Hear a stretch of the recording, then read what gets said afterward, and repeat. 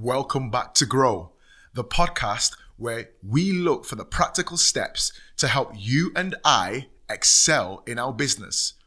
Now, in today's episode, we're going to be focusing on how to generate more sales leads for our businesses. What are the best channels of communications to generate leads for our business? How long does it even take to generate a lead? And how can we tell if a particular sort of lead is worth keeping, worth nurturing, or worth letting go of? These are the things that we're going to get some clarity on in today's episode with our special guest, Andrew Smart. Andrew is the founder and solutions director of Virtual Sales Team. So there's no better person to draw this value from in this particular subject. Father Time, it never ever stops. It never ever breathes. It's always moving and it's always evolving. Now, to me, that means that as business people and business owners, we can't stand still. We can't stop evolving. We need to keep adapting. But how have things changed over the last decade when it comes to the way businesses generate their leads? I think everyone gets better at what they do over time, but technology has dramatically changed in that time. Um, email, digital, LinkedIn, um, all the different social channels, social media. These are all all tools that we now use, um, and you're taking a lot of guesswork into who you're targeting. So we certainly wasn't an agency that did a spray and pray, um, where you are taking a phone book out and phoning everybody, which is a bit of an 80s cliche for a double glazing company. We were never that, but you probably started with a database in Excel. Yeah. And you would work with your client to try and define who they wanted an appointment with or a lead from. Um, and you'd, you'd, get trained on it and we'd, we'd represent our, our, customers as, as the client. But you've got to call through a list. You know, and it's, it's a lot of graft. It's a lot of hard work. What we are now trying to do is put more science into sales. Yeah. That's one of our um, uh, taglines at the moment. And that's all about using data to drive the agenda of every meeting we have, but also every um, campaign that we work on. Um, you want to get smarter every week and every month that you pick up the telephone. So that's understanding what the data is telling you, how, how, how long it's taken to get through to someone, how likely, what the propensity of them is to buy, um, what the opportunity value is that your client is quoting on, how many they actually win from what you've quoted. So actually, I think the, to answer your question is a is quite a big big uh, answer, but digital transformation is the biggest one. Yeah. Now, as a business owner, if we have products to sell or services to provide, we need someone to buy these products and to use these services. But where do we find these people? And how do these people find us? Let's find out what lead generation actually is and how we actually achieve it. Uh, lead generation can be defined uh, in many different ways, but I guess my definition would be um, creating the creation of a sales funnel. Yeah. Um, so it's all of the groundwork, all of the preparation, all of the foundations of trying to sell something. Um, you need to start ultimately with a lead. Where are you going to get your business from? Now, a lead could be anything from a very slight inquiry through to a I'm ready to buy, and there's so much in between of that and, and you will have different stages of probability of how strong that lead is. So, but ultimately, you've got to start with where do the leads come from. Mm. So, to me, lead generation is the creation, the work, the preparation, and how to generate business for your company, your business. Yeah. But where are those leads going to come from? Are they going to be um, inbound digital leads? Are they going to be outbound telemarketing leads? Are they going to be advertising in the press? Are they going to be straight off your website? Are they going to be referrals? Are they? You know, there's, it's endless, really. Um, the the, the um, you know where leads can come from. Yeah. But what you've got to do and be really clear about is measure Yeah. The success of each particular channel and where those leads are coming from. So you can go back to the point that we were making a, a moment ago is understanding the return on investment. Yeah. So if I've paid five thousand pounds for an advert Yeah. and I've only got five leads, Yeah. it's a thousand pound a lead. Yeah. If I've, you know, if I've spent five thousand pounds on a on a digital campaign and I've got hundred leads, you can do the maths. Yeah. The difference is what you've got to understand is what was the quality of lead Yeah. from the five on the advert to the hundred on the digital campaign. They could be vastly different. Yeah. So it's not just about generating leads. You've got to analyse how much each one of those costs to obtain. Yeah. But then it's digging down into the quality of them Yeah. because that you might create yourself a lot of work in the qualifying. Yeah. And then you've got to add in the human time to qualify that, and you've got to add that to the campaign cost. Yeah. So it gets quite complicated and can get quite in depth. But all the time, you've got to get the data. The data won't lie. Yeah. If you analyse things properly, record things properly, you will understand how much that lead costs you, what the likelihood is of it turning into business, and how many of those particular leads from that channel turn into business. Because that's the ultimate prize. How much did it cost to win that new client? Yeah. Not how much it was to generate the lead. How many of those leads will it take times five, for example, to win that client? So, lead generation, in a trying to be more um, succinct, is the is the generation of business inquiries or interest into your to your business. Yeah. Now, the creation of a sales funnel is what lead generation is. But as Andrew said, where are those leads going to come from? We've got inbound digital leads channels. We've got outbound telemarketing channels. We've got advertising in the press. We've even got referrals. There's endless routes to obtain leads. But the most important thing to remember is that we have to measure the success of each channel and where the leads are actually coming from so that we can really understand what the return of investment is actually going to be. It's not just about generating leads, it's about analyzing how much each of those leads cost to obtain and how quality that eventual lead will become to our business. We must identify the cost efficiency of each channel in comparison to other channels. How many of those leads would now actually become paying clients? And what is the total cost to actually acquire that lead? What are the mistakes we often make when it comes to lead generation? In the day and age that we live in now, there are various ways to get ourselves and our businesses out there so that we get ourselves known. But does that mean we have to utilize every single avenue available to us? They'll, they won't put, a lot of thought into campaigns. They will just buy some advertising, they'll do some digital media, they'll do some, some telemarketing, but it's not part of a, an organised plan. So actually, you've got leads flying in from everywhere at different paces, different volumes, and no one manages them. Yeah. And you're not getting back to people quick enough. Or the volume that are coming through are too poor. But because you're getting a lot of leads, you think it's working. Yeah. So I think it. I think the mistakes that people make is they they think that all leads are good leads. Yeah. Well, you've got to be a little bit stronger and a bit more ruthless with some of your leads sometimes. Yeah. And we all like to get inquiries into our business, but you know very quickly, and experience um, certainly helps, is what, what a good lead looks like and what a bad lead looks like. The secret is how do you deal with the, the ones that are not quite so good for your business? You don't want to ignore them, you don't want to be rude, so you've got to find a mechanism of how to push that one back politely or actually recommend someone else that, that might be more um, appropriate for that, that company or person. But be helpful, but be efficient in doing it. Yeah. If it's going to take you 20, 30, 40 minutes to qualify out a piece of business, that's very expensive use of my time or yours. Yeah. But so you've got to have the qualification process Yeah. needs to be absolutely spot on. And that's where digital media does become really helpful because a lot of that qualification process can be on a website Yeah. or on a landing page. Yeah.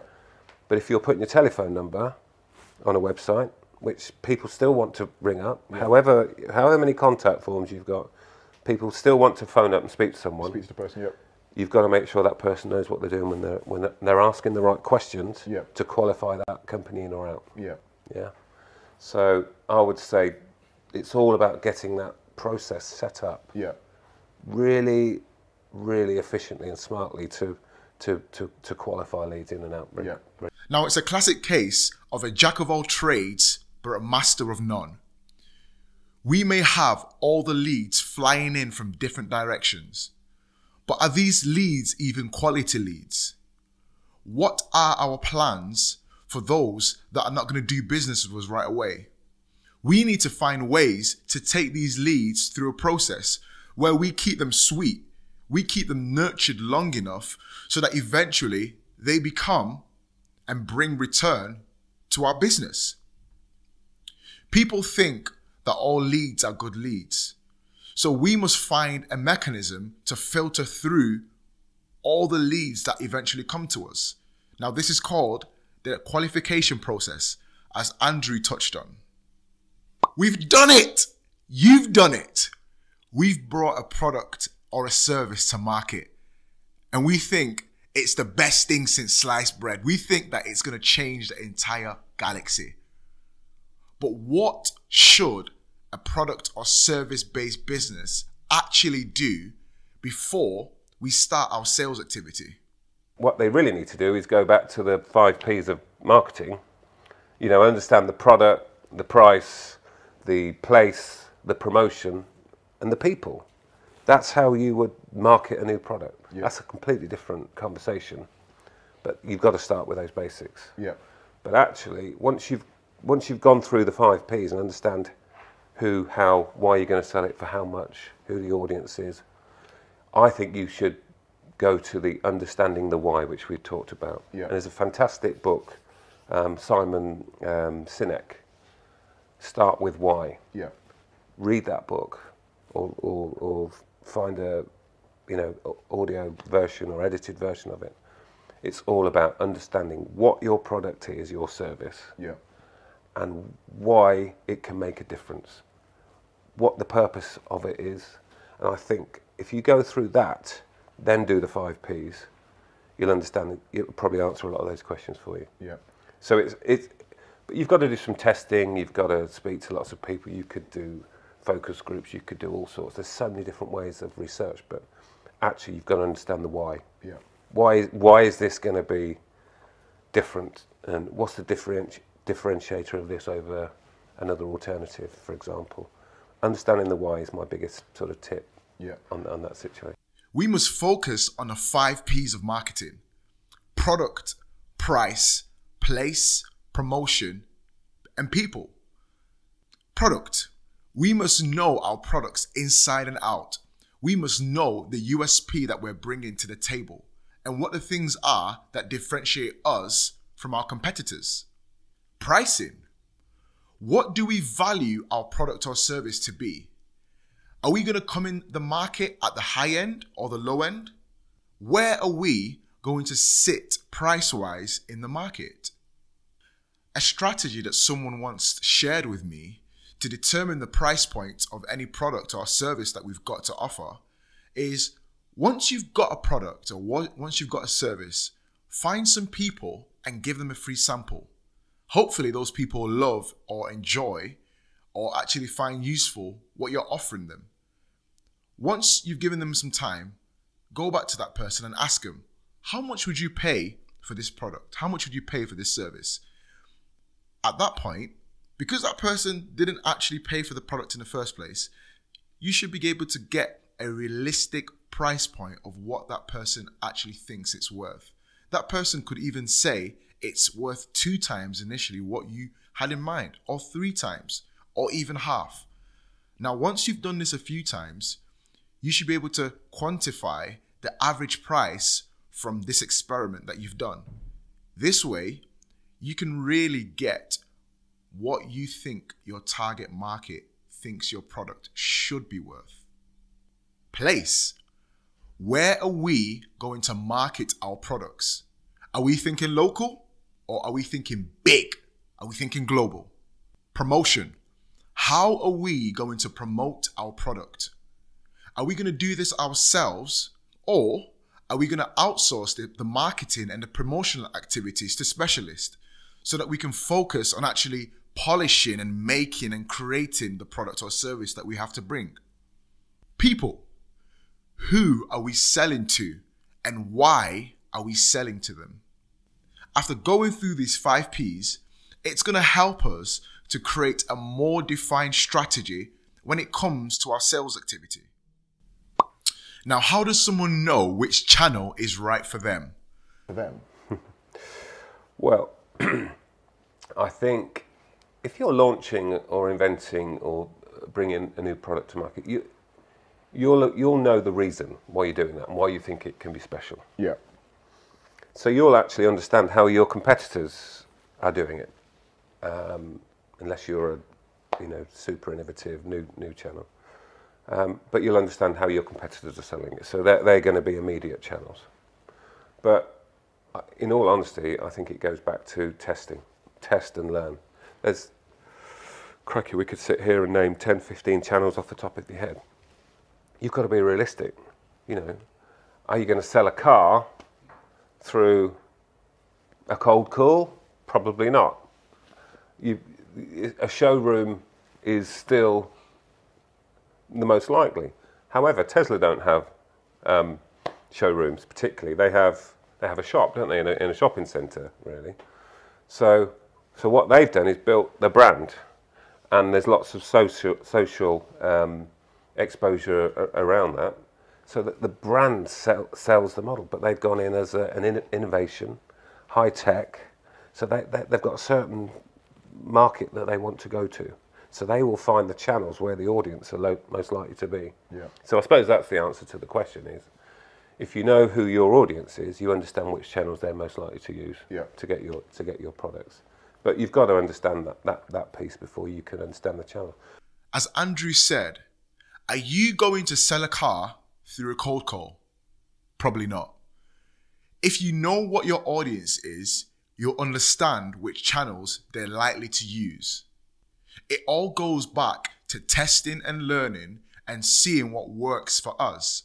Once we've identified the things that are working, then it's down to us to put more time and resource into these channels so that we can best optimize them.